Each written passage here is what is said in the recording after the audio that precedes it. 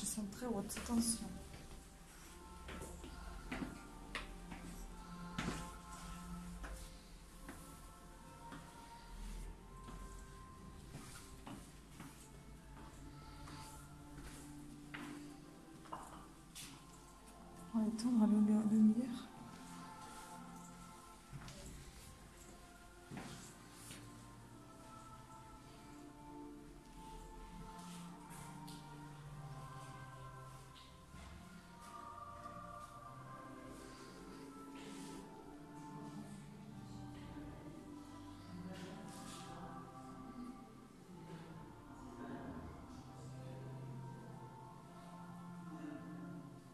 coucou, bon je suis désolée, j'ai pas de trépied donc du coup c'est un petit peu euh, n'importe comment filmé, j'espère qu'on me voit bien. Euh, on vient de rentrer en fait des visites, on a été à U, comme je vous ai déjà dit. On a été dans un petit, enfin on a vu déjà la petite ville parce que on est arrivé à 11h30, il était tard pour aller visiter quelque chose, tout fermé à midi et rouvrait à 14h. On a eu des beaux projets pour euh, de visites mais euh, c'est impossible de visiter tout ce que vous voulez parce que vous n'avez pas le temps. Autant dire à Oman il n'y a rien à faire, alors à U, franchement il y avait pas mal de choses à voir, de belles choses, et puis euh, c'est une belle ville, hein. franchement euh, c'est super sympa. Donc dans un premier temps on est parti voir un petit peu la ville, c'est une ville assez ancienne, assez jolie, assez grande je pense pour, pour le, la région, et puis on est parti euh, manger, évidemment. Euh, c'est un séjour euh, gourmand, donc on n'arrête pas de manger. je vous signale que je continue à compter les calories quand même, hein, mais bon, je pense que c'est un petit peu dépassé quand même. donc on a trouvé un petit resto très très sympathique qui fait la devanture plutôt crêperie que un restaurant classique et au final c'était un resto classique qui faisait des moules, qui faisait un peu de, un peu de tout, mais surtout euh, beaucoup de poissons. Et euh, ça s'appelait au, euh, à l'abricotier. Donc c'est comme un jeu de mots, comme si ça faisait un l'abricotier, mais ça fait à l'abri côtier. c'est divisé en deux mots. Voilà. Donc le monsieur qui était à, à l'accueil était hyper sympathique, enfin le serveur. il nous a bien accueillis. on a pris des plats. On a pris quoi? Moi j'ai pris le saumon. à l'entrée j'ai pris les huîtres. Euh, je peux pas m'en empêcher, j'adore ça. Et au plat j'ai pris le saumon euh, au, au, velouté de moule. Avec euh, du riz jaune et un petit peu de salade. Et donc au, dessert c'était le moelleux au chocolat. Franchement très très bon. Très très bien cuisine. Très très bonne cuisine. Très bon resto. J'ai adoré. Et donc après on est parti, ah oui à l'arrivée d'abord quand on a vu la ville, on a vu aussi la, petite, la grande chapelle qui était l'entrée de la ville.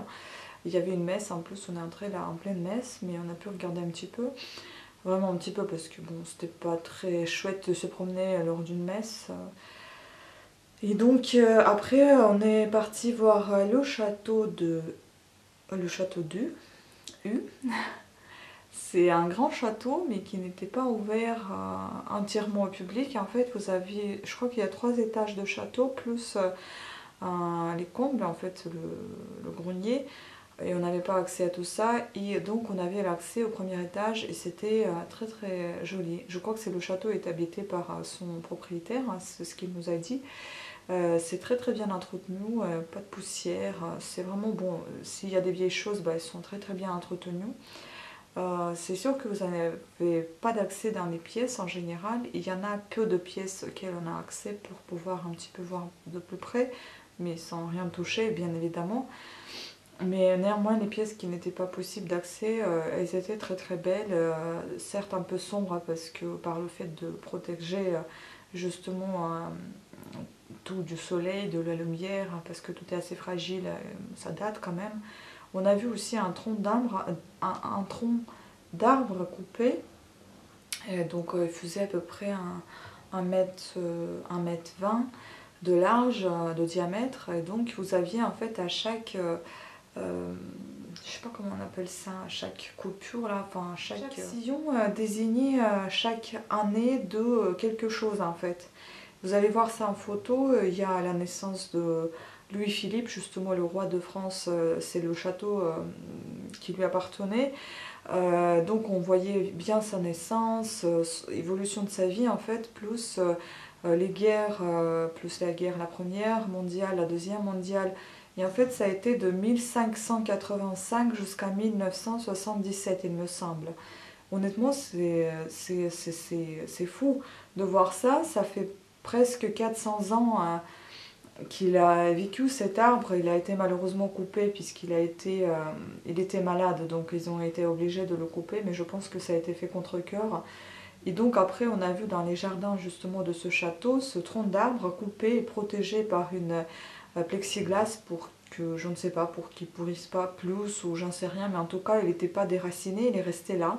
Ça fait son charme, c'est génial. Quand vous rentrez euh, dans ce bois, voyez au milieu d'arbres qui vit, et eh ben ce tronc d'arbre qui a vécu euh, presque 400 ans, c'est quelque chose d'extraordinaire.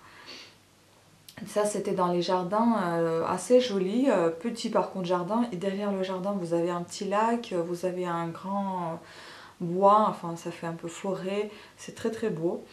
Euh, très très vert et euh, le jardin est plein de roses, de rosiers, ça sentait tellement bon. Surtout il y avait des roses jaunes, ça sentait très très sucré. Franchement ça fait très longtemps que j'ai pas senti vraiment l'odeur de la vraie rose du jardin. Ça sent très bon. J'ai pris plein de photos, vous allez peut-être les voir aussi. Et puis on a vu, bon ça c'était un petit peu après le château, donc dans le château vous avez euh, plein de tableaux bien évidemment, des pièces, des mises en scène, enfin comme ça, en scène comme ça a été vécu, euh, des euh, meubles avec de la tapisserie de Beauvais. Il y avait aussi de la porcelaine de Sèvres avec les... donc sur des assiettes vous avez des insignes de roi. Euh, et donc, euh, il y avait euh, pas mal de collections offertes par certains monsieur Cour, il me semble, Albert Cour, je crois, j'ai pas envie de dire des bêtises, mais je crois que c'était lui qui a intégré l'association, justement qui a intégré l'association pour roi Louis-Philippe et qui en est devenu ensuite le gérant ou je sais plus. Et en fait, il était médaillé aussi par le fait de son grand apport en dons. Et euh, honnêtement, c'est une grande collection. Bon, on n'a pas tout vu non plus, mais il y avait pas mal de pièces qui étaient très sympathiques. Vous avez aussi des, euh, des fourchettes, des cuillères, des couteaux, enfin des ustensiles de cuisine en, argent. C'est magnifique, c'est hyper euh, épais, c'est grand. voilà, en fait, il y avait pas mal, pas mal de choses. Et donc après on est parti, bon il a commencé à pleuvoir, on a vu vite fait les jardins. Euh, et on est parti voir la chapelle de nouveau parce que les portes sont rouvertes. Et là vous pouviez visiter toute la chapelle euh, du haut en bas en fait. On est même parti dans les combles, donc en sous-sol. Euh, c'était sympa, j'ai jamais vu dans les sous-sols des chapelles ni des églises. Ça c'est bien, bien la première fois que j'ai vu ça. Donc moi j'ai dit quelque part c'était la chapelle de Jeanne d'Arc. Je me suis trompée, Jeanne d'Arc on l'a vu hier. Hein. C'était une église où il y avait Jeanne d'Arc aussi. Dans cette église-là, il y avait son monument exposé. Là aussi, il y avait des, un monument de Jeanne d'Arc, mais c'est pas la chapelle de Jeanne d'Arc, ça s'appelait la chapelle de... pas la chapelle, ça s'appelait la collégiale de U, il me semble. Euh, je n'ai pas envie de dire des bêtises, mais il me semble que ça s'appelait comme ça. Donc, euh, euh, magnifique. Les plafonds sont hors normes, tout est en style gothique, vous avez des arcs très très belles, très, très longilignes, magnifiques. Vous avez des tableaux, pas des tableaux, mais c'est plutôt en forme de tableau, mais je ne saurais pas vous dire la vraie, le vrai terme, je je ne connais pas. Mais enfin, c'était comme des petites sculptures dans ces tableaux de justement mise en scène de Jésus, euh, des, apôtres, enfin voilà, des petites choses comme ça, euh, des religieux quoi. Et après, on est descendu en bas, on a vu pas mal de confessionnal? Confessionnal Ça s'appelle confessionnal? Merci. on a vu pas mal de confessionnal ah, On a vu pas mal de confessionnal et puis on est descendu en bas. Euh, voir, euh, c'était vraiment des sarcophages euh, des, euh, des, des, des, familles royales, il me semble, donc de ceux qui viennent de U. Et en fait, ce qui était bien, c'est que ils expliquaient à côté de chaque sarcophage, il y avait des explications pourquoi la personne se présentait ainsi dans, cette, dans ce sarcophage. En fait, vous avez la, la tombe et au-dessus, vous avez le, le personnage, enfin, en marbre en général, euh, avec euh, enfin, toute la mise en scène, avec l'armature, sein de l'armature, avec euh, un petit chien au pied ou bien un petit lion au pied. Ça a été expliqué pourquoi il y avait un petit lion, pourquoi, pourquoi il y avait un, un petit chien. Ça signifiait que si c'était un petit chien, c'est que la personne était décédée dans, la, dans le sommeil. Et si c'était un petit lion, c'est que la personne était décédée lors d'un combat. Euh, pareil pour l'armature, elle était enlevée. Euh, je crois que c'est juste le visage qui était. Euh, non, je crois que tout a été couvert. Enfin, il y avait un truc avec l'armature, je ne sais plus. Par exemple, il y avait un personnage, je ne me rappelle pas de nom, je ne vais pas vous dire des bêtises. Il avait son armature, enfin ses, gants d'armure, ils étaient sur le côté. il avait un petit lion à ses pieds et il y avait une cage qui l'emprisonnait, mais en fait elle a été enlevée avec le temps. Euh, et ça, ça signifiait qu'il était euh, dans le combat et la cage a été enlevée euh, par, je ne sais pas pourquoi il a été enlevé, c'était aussi expliqué, je ne me souviens pas trop. Mais ça veut dire qu'il a été, enfin il combattait, mais comme il était emprisonné aussi, donc c'était le fait d'avoir cette cage, plus le petit lion, puisqu'il était combattant dans une bataille. Et donc, euh, certains, il y avait enfants, il y avait deux enfants, il y en avait un qui avait des chiens à ses pieds, euh, qui avait, qui, c'était un enfant en bas âge, je sais pas, je, crois que c'était 5 ans, un truc comme ça, et l'autre qui avait un petit lion à ses pieds, il avait deux ans. Et donc, ces deux enfants ont été euh, décédés à cet âge-là, mais c'est pas parce qu'il y a un qui est décédé dans son sommeil et l'autre au pied avec un lion, ce sont des, des des gamins, ils peuvent pas décéder dans le sommeil. Enfin bon, après, ça dépend des, conditions. Mais, euh, mais, en fait, pourquoi donc il y avait le lion et le chien? C'est tout simplement parce qu'il y en a un qui était noble et qui a pu devenir un euh, prince, pas prince, je sais plus. Enfin bon, voilà. Et l'autre, pas du tout. Donc du coup, euh, c'est pour ça qu'il n'y avait pas donc un petit lion au pied de l'autre. Enfin, c'est très sympathique. Je sais que j'explique un peu brouillon, mais c'est sûr que je ne suis pas quelqu'un, je ne suis pas historienne. Mais euh, il y a des choses qu'on peut apprendre euh, tous les jours et c'est très intéressant. C'est très sympathique de savoir euh, ce que c'est, surtout dans une église. Je ne pensais pas du tout de savoir ce genre d'informations. Et je vous avoue, c'est quelque chose qui remplit énormément la tête.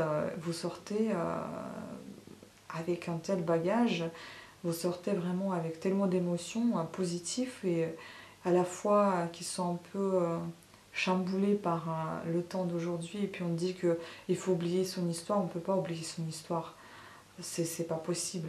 Enfin, on dit ça pour avancer. On ne peut pas oublier parce que c'est on n'est rien sans, sans, le passé. Et c'est tellement intéressant, honnêtement, c'est enrichissant. J'ai adoré. C'est émotionnellement juste parfait ce séjour. Bon, par contre, au mal, on n'est pas du tout emballé, c'est pas quelque chose qui nous plaît. Mais en tout cas, U, c'était pas mal. On passait à côté de la ville qui s'appelle Gamache, aussi pas mal. D'ailleurs, je voudrais vous raconter un truc. Moi, j'ai lu sur la ville Gamache, ça signifie rivière euh, et je sais plus quoi d'autre. Enfin, rien d'autre, rien par rapport à ce que je vais vous dire. Mais moi, dans mon pays, Gamache, il y a le mot qui ressemble au français, Gamache.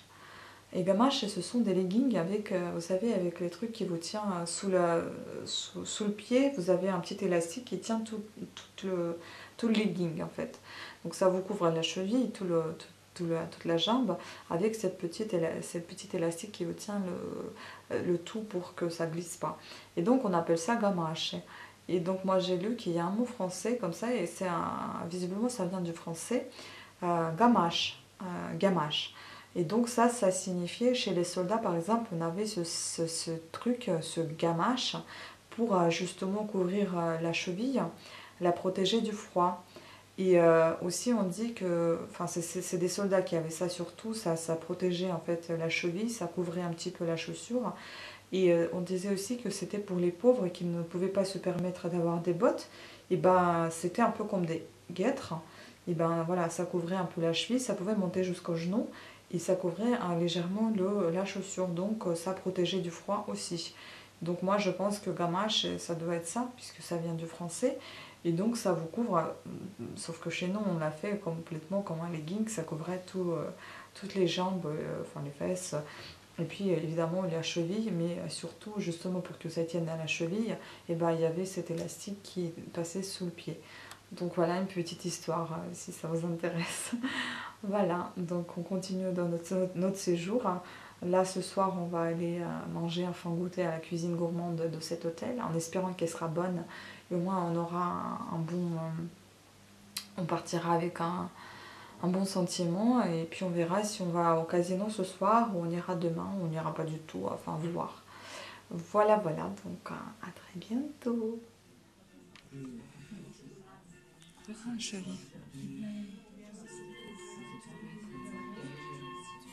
Ah d'accord, bah, comment tu veux acheter alors. Pour YouTube, si je veux y être.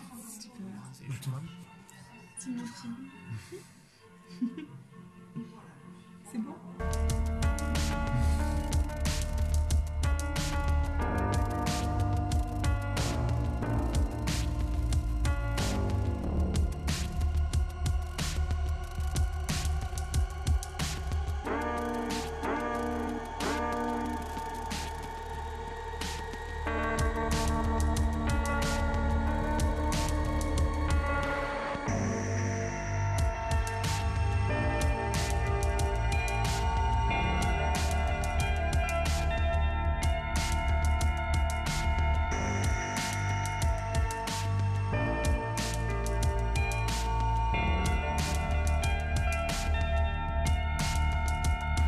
Voilà, nous sommes rentrés euh, aujourd'hui.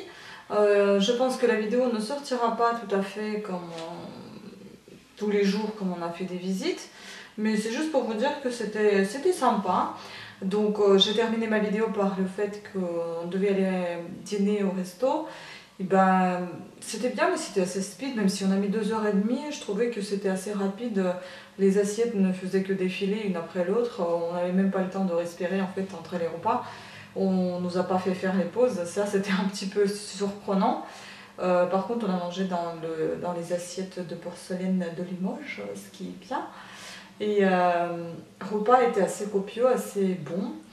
Euh, on avait mangé à l'entrée, enfin au départ on nous a amené des petites amuse-bouches, des pommes frites, dans des, avec des, enfin c'est vraiment des pommes frites dans les petits, avec les petites coupées en petites lamelles avec euh, des cuillères de euh, mousse de saumon.